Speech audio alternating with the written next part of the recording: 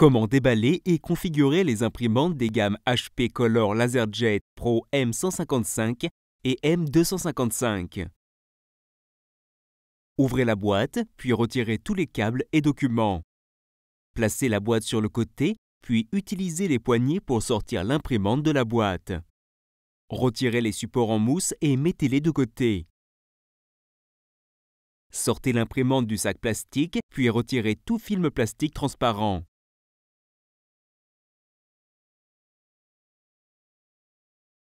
Faites glisser le bac d'entrée du papier vers l'extérieur. Sur les guides papier, pincez la poignée bleue et faites glisser les guides jusqu'à leur écartement maximal.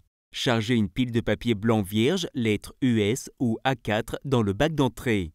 Ajustez les guides pour qu'ils touchent les bords du papier, puis remettez le bac d'entrée en place. Branchez l'imprimante, puis appuyez sur le bouton d'alimentation. L'imprimante s'allume, puis démarre le processus d'initialisation.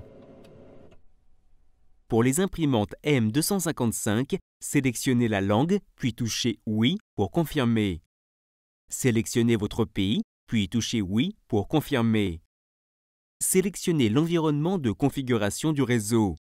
Si votre service informatique gère vos paramètres réseau, sélectionnez Gérer par le service informatique, autrement sélectionnez Autogérer, puis appuyez sur Oui pour confirmer.